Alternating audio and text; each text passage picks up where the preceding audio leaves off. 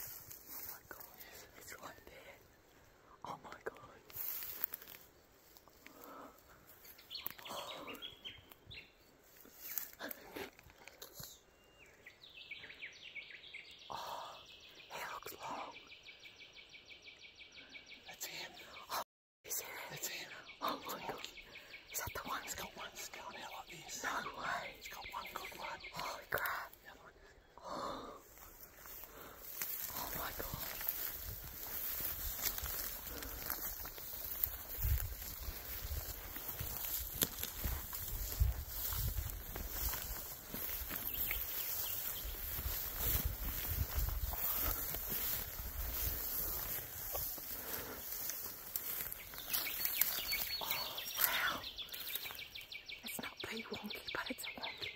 That's him. Is that him? That's definitely him. Holy crap.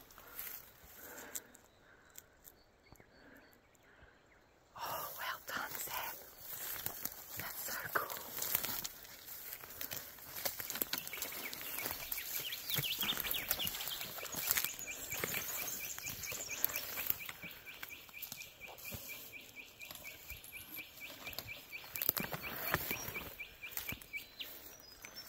Oh my goodness.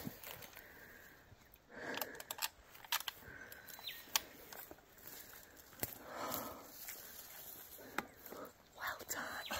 That's awesome.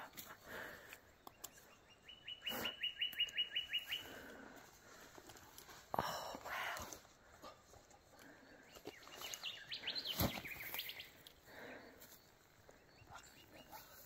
Did you like it better? We had a good feeling about today. Oh, that's him. That is him. Wow. Oh, yeah. wow. So cool. Oh, my goodness. How awesome is that?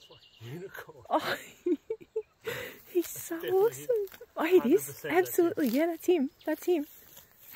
Holy cow. Good job.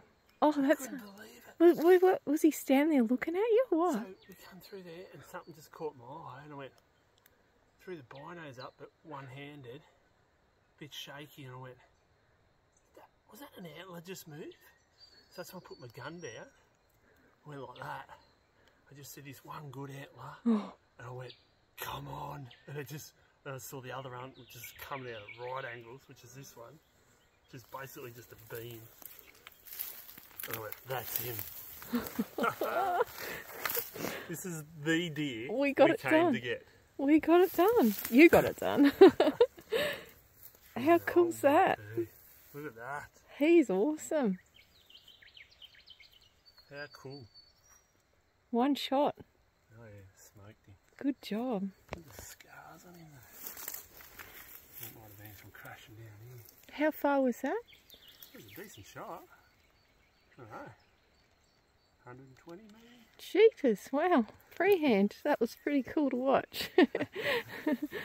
That is a cool deer. You've never seen like He's that, have you? awesome. He's awesome. Look at him. Oh my goodness. That a donkey. That is cool, eh? Oh, So we got just the tiniest bit of footage of this bloke fortnight ago. Just got him slipping through some bush and realised that he was a wonky with a bit of character. Came back in to uh, see if we could get onto him again and found him on the other side of the river. Unreal. Been a good trip. Awesome. oh my goodness. That's so cool. That is so cool. Yeah, that's cool.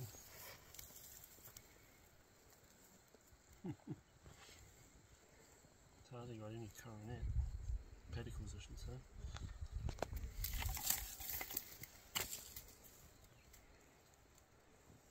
Mm, Plenty of teeth. Yeah, that's awesome. I can't believe you got him. One deer we're looking for. That's a stag foot. The of him.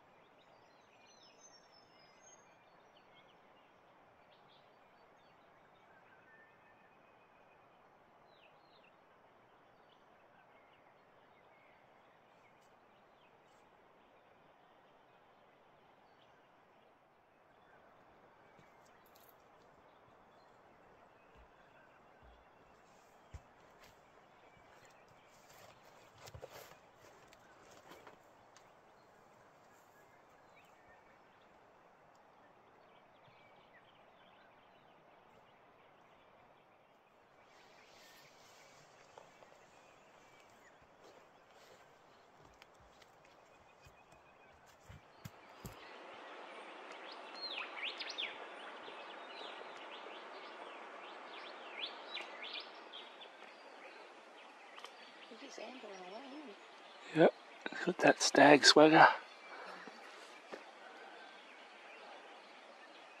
I'm so big, I'm so strong.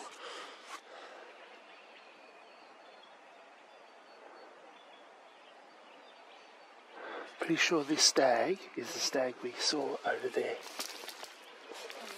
Yep, it's got those layback antlers. Same size. All I can see is the head of a little wattle tree just going.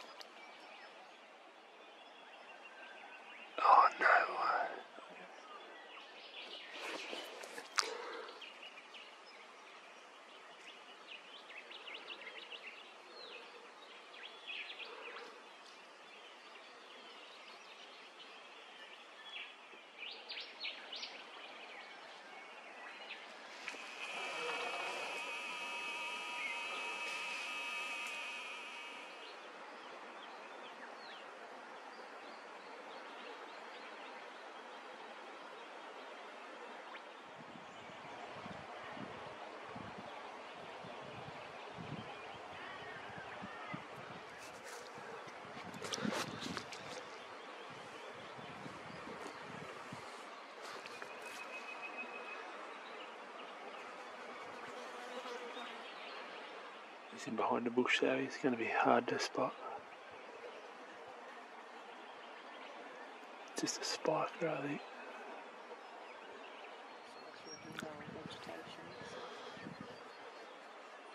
Might be these deer that we normally see filtered around into there.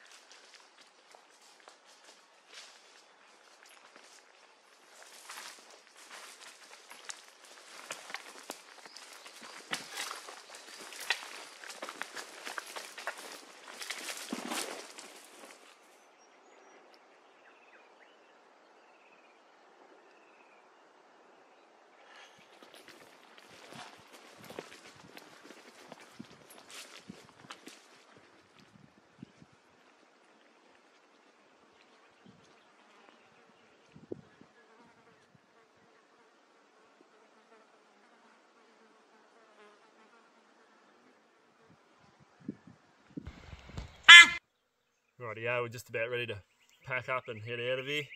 Had another good trip, um, great trip actually. So, just wanted to give you a little backstory on this stag. So, fortnight ago, Glenda and I came in to this spot and um, we saw a couple of nice stags actually. And but the funny, the funny story with this stag is um, we were sitting down at this uh, glassing point that we have down there, and um, it was a real struggle to find a, de- a deer, and uh, I think it's just this time of year. It's really green in here, and there's plenty of feed, and so the deer aren't moving a lot. And maybe a lot of deer have moved up a bit higher as well, better feed up higher. But um, anyway, so we're, we're glassing there, and we'd spotted quite a few deer, and anyway, Glenda goes, "Oh, there's a big wide one." I said, "Oh, where?" So jumped over to her, and she's sort of guided me into where she'd seen this stag, and I'm going, oh yeah, I can see a stag there. So I zoomed in on the camera, and it was only a stag, you know, maybe half the length of this thing. I said, oh, he's not that wide, and she goes, yeah, no, he's really wide. And I said, oh, you know, is he rubbing a tree? And it just so happened to be that this stag must have been doing rubbing a tree, and the stag I was watching was rubbing a tree, but they were actually two different deer. And um, anyway, eventually I basically confused her enough to think that nah, she she hadn't seen it properly, and um, so we sort of gave up, you know, on that stag because I the stag that I was looking at was only a little fella and not worth um, going after. And anyway, so we kept looking, kept looking, and oh, about half an hour, forty five minutes later, you know, in the morning's getting on, and and we spot this. She goes, "Oh, there's that stag again." And anyway, I put the camera on it. I'm like, "Oh wow!" And I just got the tiniest little bit of footage of him, a bit rough, just moving through some uh, little gap. And I went, "Oh, he's cool. He's got one good antler and, and just a, a, a wonk, wonky one out the other side." And anyway, so we raced down and we had a hunt on him, and, and we had him glimpses of him through the heads of the trees, but there was definitely no shot opportunity. So anyway, we um we went back. Oh no, that was the the last morning, so we had to hike out that day. And anyway, we decided, yep, we'll we'll have another crack in a fortnight. So yeah, we came in on Friday afternoon, and what we did is we had enough time to um, go for glass just before dark. So we just smashed it straight. Didn't even set up camp. Just smashed it straight down to where we'd seen this bloke um, from. And what we did, instead of staying up at the vantage point where you can see big amounts of country, we just zoomed in on the little spot, the one face where we'd seen this fella. And um, we figured, because we only had probably half an hour of light, that we better to be in the position. And if it happens, it happens. If it doesn't, we're not going to get distracted by other deer. Anyway, we saw a couple of deer, but not a lot. And we went back in the morning, and we had quite um, wet and foggy conditions. So glassing wasn't really going to be much of an option. We did get a little bit of glassing in in between some foggy um, fog moving in and out, but um, we saw a couple of deer, but yeah, nothing. We didn't see this fella. Um, so then we just went for a bit of a bush stalk because of the conditions just weren't lending themselves to glassing, and we spotted um, a bachelor group of stags over uh, fair way over, and I thought one of them might have been my uh, big knobby mongrel, which just got little stubs for antlers. I'd be quite happy to take him as well, but anyway, we, we spent the day over there looking for them and, and fishing and whatnot. And come um, come the evening, we um, we came back around this side and, and we just sat in the shade and waited for the sun to dip low and the shadows to grow long and um, and then we come around the corner and we didn't really want to get into position too early but we did the same thing. We didn't sit up on the big vantage point and glass everything. We zoomed in on the little area where we figured this bloke might be and um, checked the wind. The wind was good. And we snuck in there nice and quiet. And um, we were sort of just moving in there. And I just had this feeling because I'd seen a hind in that gully earlier in the morning, just briefly in between some fog, and I went, it's probably worth having a look in this gully because it seemed to we put up some deer. And actually we saw a, a half-handy stag uh, on Friday afternoon sneak right in on me. I got a little bit of crappy footage of him, um, but the scene and we put up a hind and we got honked at near camp, and I thought, oh, it's just going to be worth poking into that gully and just looking at that face across here. And um, so we that's what we did. We like realistically we should have been back 100 yards glassing this face across the river. But for whatever reason I just decided yeah no we're just going to poke around here and have have a look over here. And um, yeah just moving through quiet and just a little bit of colour caught my eye did the old one-handed binocular thing with you know you don't get fully steady and I'm right I was sort of just about to give up on it being a deer, and I went, oh, I just reckon I saw a bit of antler then. So I put my rifle down in the grass, and then got the two hands, so to have a much steadier look. And I'm going, yeah, that's definitely a stag. And it lifted its head, and I could see this antler. I went, oh, he's all right, but I know he's he's uh, he's nearly 28, but um, from the side view, because he's so wide, it didn't look that long. I only put him in the low 20s, and um, but I only saw this one antler, and I went, oh yeah, just keep looking, see what his other antler's like. Anyway, I saw him turn and look onto me a little bit, and I just saw this one going clean out the side, and I'm like, oh, that's wonky. And so immediately it was binos down, rifle up, chambered around, and you know, I went, oh, geez, that's a fair shot. But he was just in a bit of a window in some scrub. And I think if I had moved to the tree that was uh, about 15 yards in front of me, I might have uh, changed the angle enough to not be able to see him, and then I would have had to move and all the rest of it. So, yeah, it was about a 140 yard shot off the shoulder, and um, yeah, slightly quartering on. So I smoked him in the shoulder and found the projectile just under the skin, you know, in the sort of the guts, what you'd call where the guts are, but um, just just in front of the back leg. So it was pretty much a big raking shot, um, but he only made about 25, 30 metres, and uh, he was down and out. So anyway, it's not often that you go looking for a particular stag and make a plan and you end up coming home with that stag. So it's a pretty cool experience. And uh, yeah, what a unique deer. Have a look at him. Like each angle's different, but super weird, which is kind of cool. He was old, which is awesome. And uh, yeah, we we had a plan to get him, and, and we came in and we got him. So awesome.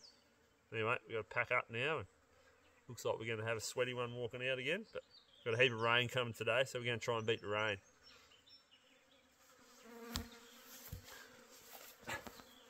Should have jumped in.